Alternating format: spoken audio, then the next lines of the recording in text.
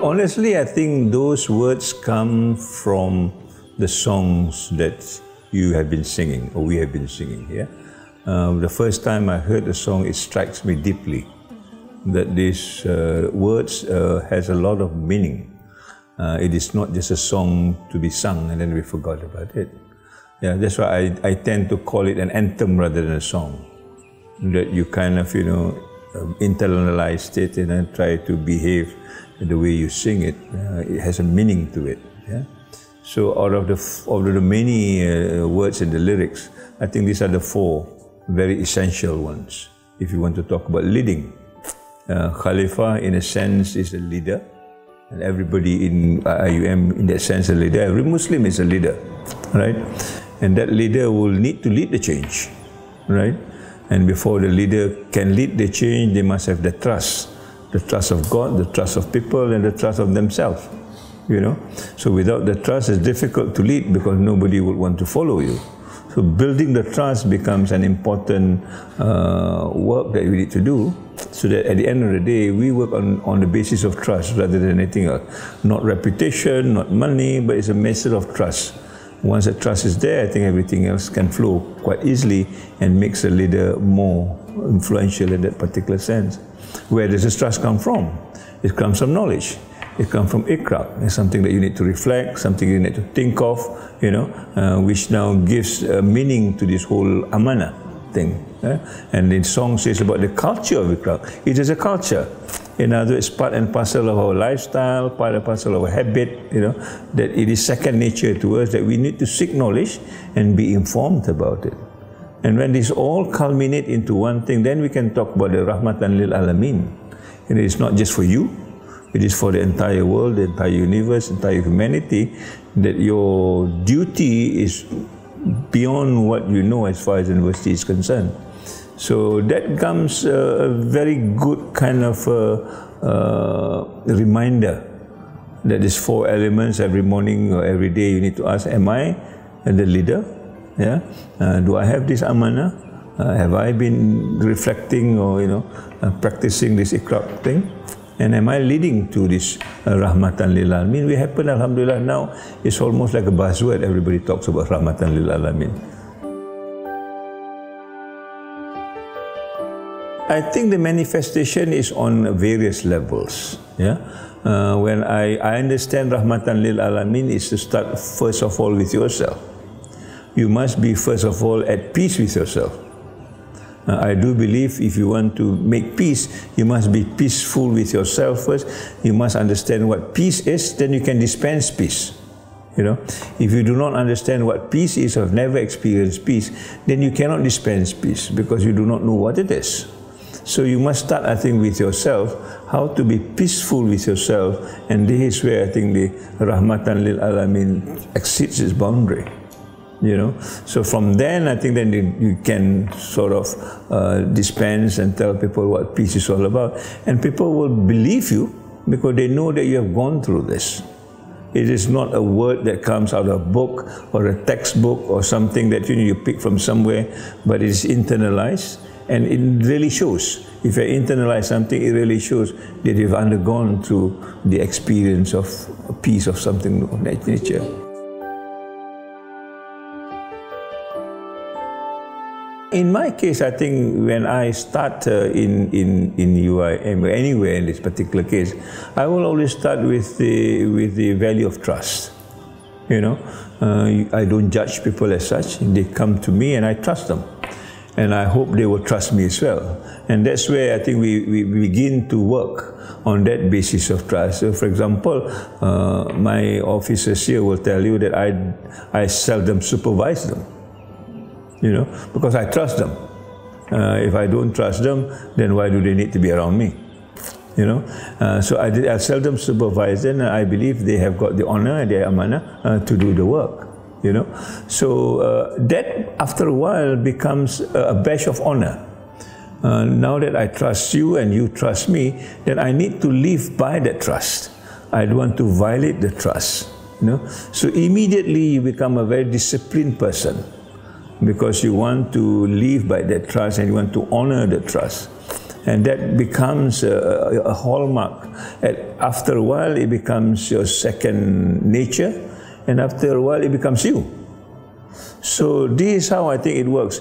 Uh, it's difficult to talk about uh, the way we do now, uh, that you must uh, follow certain instruction. Then I, make, I want to make sure that you follow that instruction.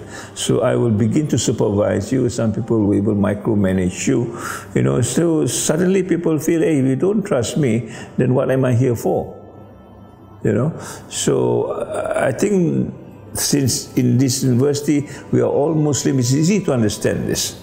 That I trust you, and therefore that it becomes your honor uh, to live by that trust, and that's how things flow. So when the trust is broken, then I think it's something that we need to think about uh, at a different level. How do you deal with this?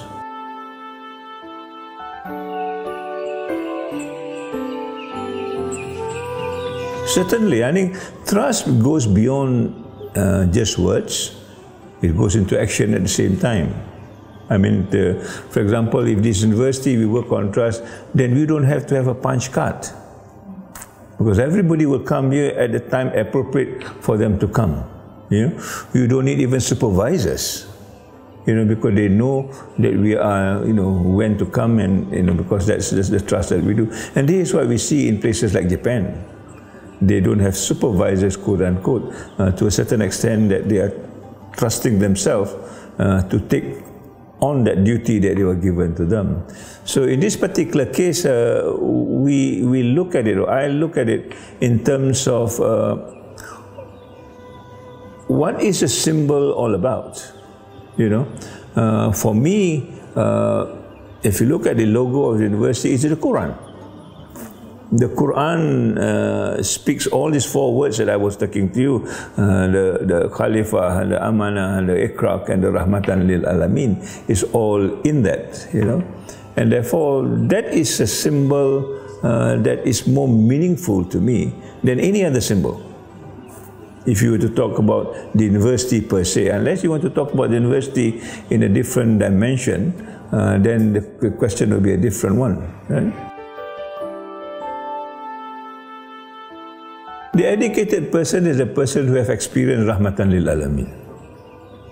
It is not about scholarship in the sense of degrees. It's not about that piece of paper that all of us are running for, chasing it, you know. Uh, half of the time, people who, are, who, have graduated and have this piece of paper, uh, sometimes they are not educated because they don't have the experience of this peacefulness within them. And I go back to the falsafah pendidikan kebangsaan, which says at the end of the day, the falsafah pendidikan kebangsaan say they want to nurture a balanced human being. Right?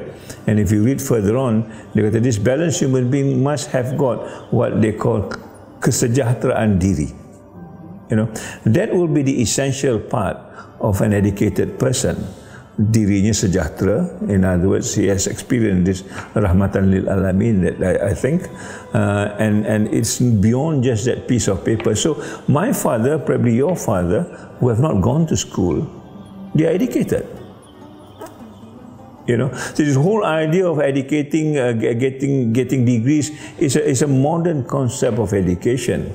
What, I, what what happened when there was the days when there was no school? Are those people all uneducated? What will be the time of the prophet? Prophet does not go in his school.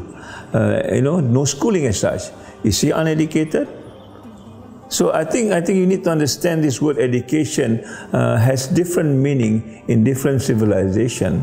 Uh, to a certain extent, that uh, it has sometimes corrupted this whole idea of, of education just based on credentials. And we are all running for credentials now, so much so that we forgot who we are as a human being that need to experience this just kesejahteraan diri rather than you know just getting that piece of paper, getting a job, and you think you are done. I, I don't think so. No, no. That's why we don't translate it. And this is, this is another problem, you know. Uh, between cultures, uh, there are certain words that cannot be translated. The moment you translate it, you lose the meaning. You know, so that's why I think language is also very important. Arabic, for example, I, am not good Arabic. I don't know Arabic much, but certainly the depth of words in Arabic is a lot more than any other words that you can imagine. Yeah, so you don't translate it because it takes the culture and the value of where the word belongs to. Well, to, to seek knowledge is to allow a kind of a creativity, is to allow a kind of independence, you know. Uh, and that is the fundamental about seeking knowledge, right? So in other words, you're allowed to explore. There is a room for you to try and make errors and make mistakes. That is what learning is all about. Yeah, you cannot learn without making mistakes. So in other words, you must have that flexibility of, of trying and making mistakes, you know. And that flexibility, quote unquote, uh, expresses what autonomy is all about.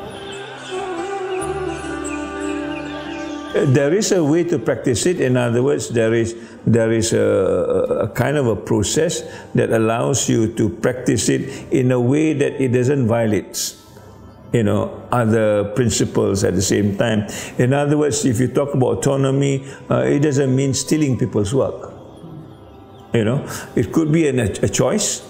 Uh, if you say explore, I can take your uh, your your work and, and, and you know and plagiarize it. Uh, it sounds like autonomy, but it violates certain principles, certain ethics that we say this is not no, no longer autonomy. There is a counter boundaries, and that is part of education an educated person will know what the boundary is about you know? So they know what is the limits that you can push uh, as far as as far as knowledge is concerned. So knowledge that harms people probably is not something that we want to uh, encourage. In fact you do not want to encourage it at all. The gap is basically uh, an issue uh, that impinges on uh, your choice. All right. Uh, for example, if we talk about change, to me, it's a matter of choice. Do you want to change or you do not want to change? Ultimately, you decide. Nobody can force you. Of course, circumstances can force you at the end of the day, but ultimately, you will decide whether you want to change or otherwise. Yeah. And that again depends on, on, on the kind of education that you get, whether you think this change is right or whether this change is not right. And that's where I think this knowledge thing becomes important. You need to make a decision based on the kind of knowledge that you've got, whether you want to follow this change or not. Nobody can force you. Uh, to make this change. I mean, this is why sometimes when you talk about change, it's very difficult because you almost need to convince everybody you know, or why the change is necessary or why the change is not necessary. So, but given the circumstances as it is, uh, sometimes if you don't change, then the change will force it onto you. So either you change willingly or you're forced to change. Again, that's a decision that, that you need to make. I mean, technology to me uh, is, a, is a good example as far as I'm concerned. Yeah, do I need to use a handphone or do I don't need to use a handphone? Uh, my uh, thinking until now, I don't need to use one. And the reason is very simple because it doesn't change my life in any way. In fact, if I use a handphone, I would be a different person, maybe. Because my life has been structured in such a way, I don't need this gadget. This gadget comes in uh, at midpoint of my lifetime. Uh, I also notice now many people have got a watch with a very black kind of a, you know, my watch normally you have the, uh, the, the, the, second hand ticking around. Here just a black thing and everybody is using it. And I was thinking, well, if this is a watch, then what are they looking at? You know, so apparently it's not just a watch, there's many other things. So do I need that?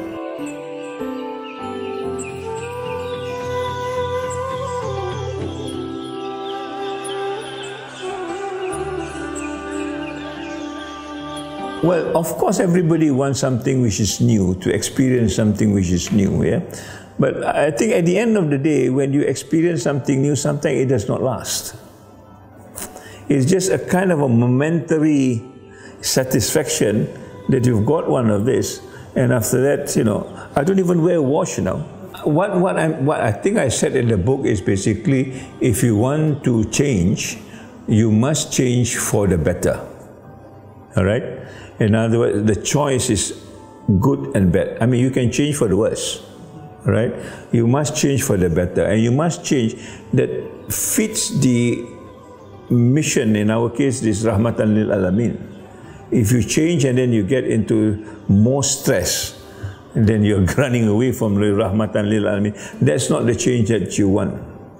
And therefore, you must know what are the what are the values that you, you're looking at to make that change possible or even to choose for that particular change you know. So when you talk when i talk about technology uh, i will imagine most of this technology will give me more stress than anything else.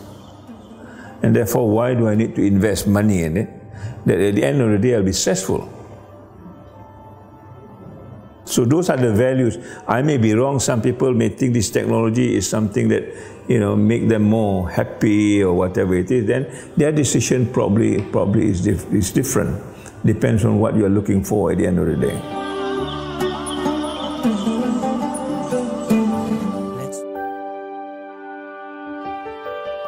I advocate uh, community engagement as part and parcel of the Rahmatan lil Alamin. You know, in other words, you need to quote unquote uh, reach out to other people uh, to share whatever you have with them, in the hope that they will also experience what you experience. But in this, in the same way, you also want to experience what they experience. Sometimes you feel people in, in, in the kampong, uh, they're happier than you are. You know, and they don't have too many things in their houses and the house is almost bare. But you, when you look at them, they are sometimes happier than you are. We have got so many things around us, but we are still not as happy as they are. And, and, and this, I think, the, the, the, the, the virtue of reaching out to other people, especially beyond the university, to experience what they experience. And therefore, you need to engage them. And that engagement is what I'm advocating that you need to share whatever you have with them. Uh, that's point number one. Point number two, I think uh, as we move on, uh, we also want to learn from a different set of values and different sources of knowledge. Now, when you talk about academic, we tend to think about very modern structures, you know, whereas knowledge sources are, are everywhere. Uh, when you look at the, the, in, in, the environment, nature as such, eh, we believe these are the creation of God. We believe these are inspiration from God. From, we can learn something from them, provided you know what you're looking for. And therefore, many scientific discovery, for example, comes from just by looking at nature comes from just experiencing what they experience in nature. And that's another form of engagement that we want to get into rather than get boxed up in, in you know, in lecture halls, in, in libraries, uh, even in our own books, uh, because the whole world is a book by itself. But, but you must know how to read it. You know, just like how you want to read a book, you must understand the alphabet. By the end of the day, when you look at nature, you must know what to read from nature so that you can gain, gain the inspiration at the same time. And that's where I think uh, uh, engagement is important because we are now begin to be siloed into our own uh, definition of what university is all about. And university for us now is this structure, is this building, uh, but IIUM has got another tagline, the Garden of Knowledge and Virtue. That garden itself is another university that focuses on centers on something else rather than, you know, the building itself.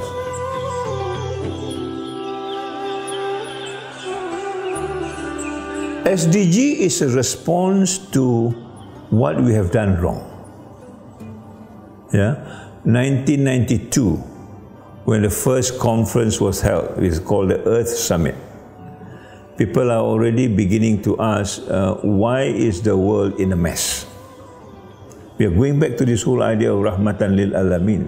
You know, why is the world no longer peaceful? Why there are so many conflict? Why there's so many poverty? all the things that we've been talking about Uh, people are asking it in the year in the year 19, 1992 when the Earth Summit comes in. Yeah? Uh, as part of the thinking process, looking for solution, they say we must come into a kind of a, a goal setting. And then in the year 2000, I think they invented what they call the Millennium Development Goal.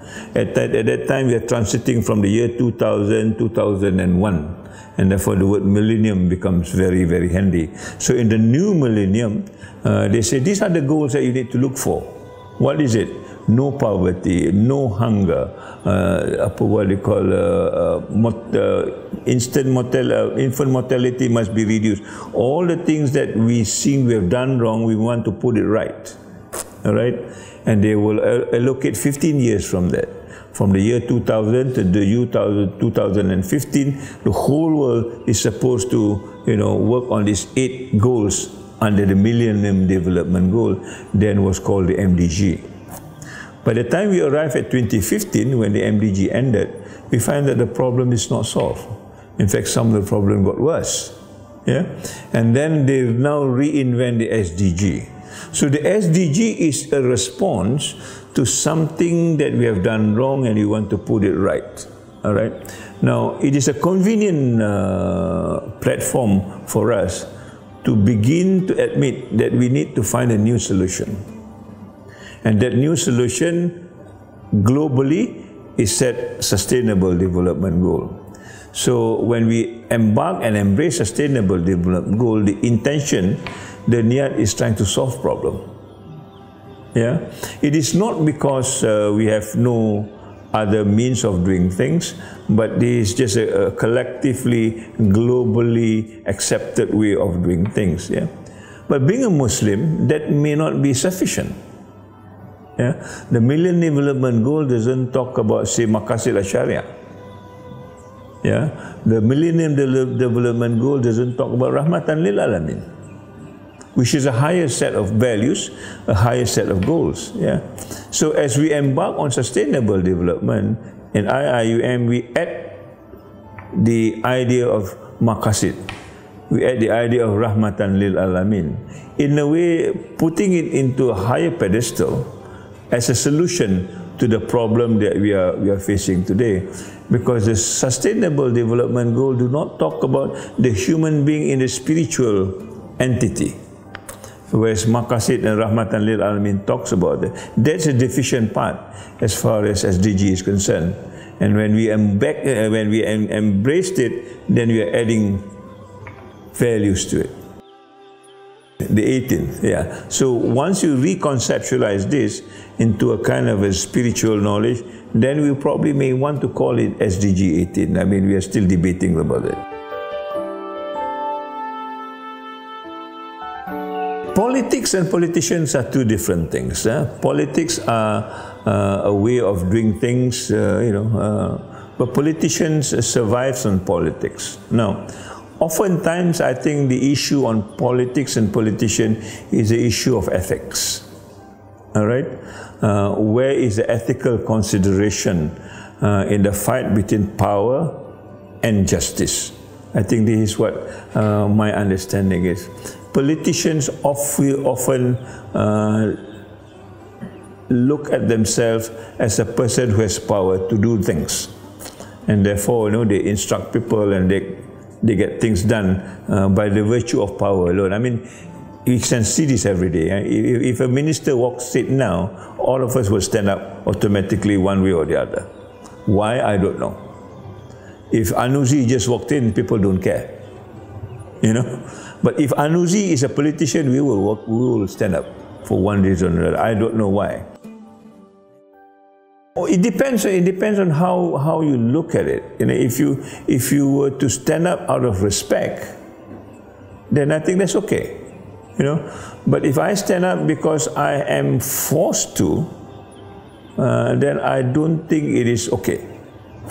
So it depends on the kind of values that you have. Plus, plus I understand. Uh, in the context of education, people needs to be humble. That's one of the criteria of being educated.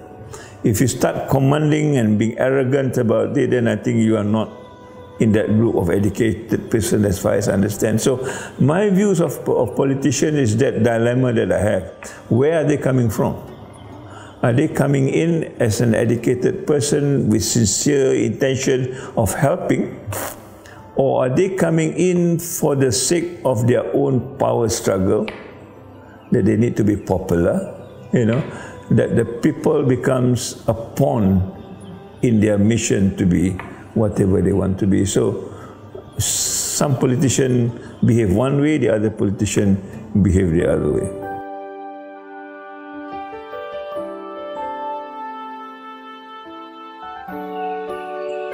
First of all, we need to understand what AI is all about. All right, AI is another piece of technology. All right, uh, albeit it's a smart technology, but it is part of human creation. Okay, in other words, when AI works on works on algorithm, who writes the algorithm? I write the algorithm. The AI does not write its own algorithm. You know, so in other words, the worth of AI depends on the worth of the human being. If I'm a good person, I may write an algorithm which is different from a person who have a different intention. So here we talk about AI now. Uh, one of the things that people are worried about is these killer robots. Yeah, killer robots is an AI. It was designed to kill people uh, on impulse that they are given. So they can design, say for example, okay, if you see a person in red, shoot. That's a kind of programming that they put. Yeah. Uh, so it really depends on what, what is all about. Now, my issue is not so much about the AI. When there's something artificial, there must be something which is real. The world is, you know, in, in a balance that way.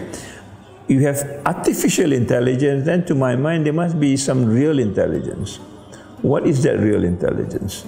To me, the real intelligence is your fitra. That is what is given to us we were told in the Quran that, you know, God blows His breath into us, and then we become people who are quote unquote knowledgeable. Uh, in other words, if you want to control AI, you must be able to control yourself first. If you don't know how to control yourself, then you cannot control AI.